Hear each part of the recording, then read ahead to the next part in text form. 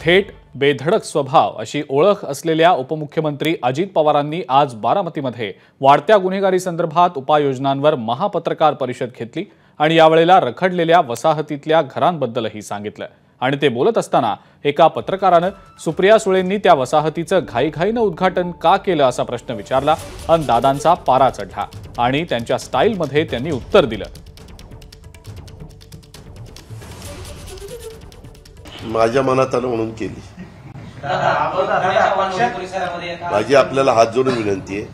मी इतकं आपलेपणाने सकाळी नऊला तुम्हाला बोलवलेलं आहे.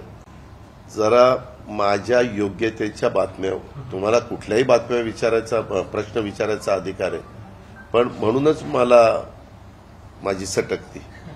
की काय म्हणजे एवढं आपलेपणाने येतोय बोलतोय ब- बसतोय काय आता ह्या ह्या ह्या प्रश्नाला काय अर्थ आहे का?